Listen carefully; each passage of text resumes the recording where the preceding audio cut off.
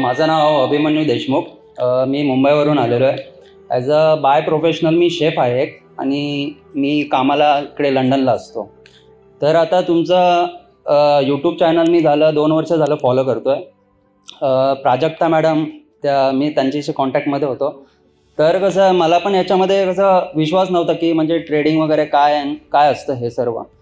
तर माझे माझं म्हणजे जे ड्रीम आहे ॲज अ बाय प्रोफेशनल मी शेफ आहे. माझं जे ड्रीम आहे ते माझं हे फाईन डायनिंग रेस्टॉरंट मला ओपन करायचं आहे त्याच्या त्याच्यासाठी जी भांडवल वगैरे लागते ती भरपूर आहे.